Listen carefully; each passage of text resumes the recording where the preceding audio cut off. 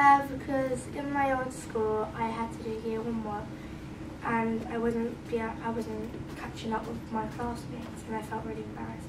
But I'm happy to come to this school now because I'm doing the exact same work as my classmates now.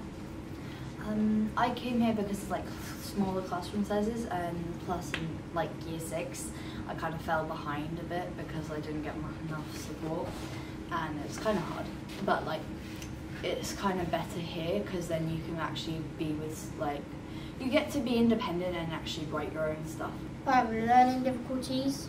Um, I have a birthmark and autism, so I need a bit of help with stuff.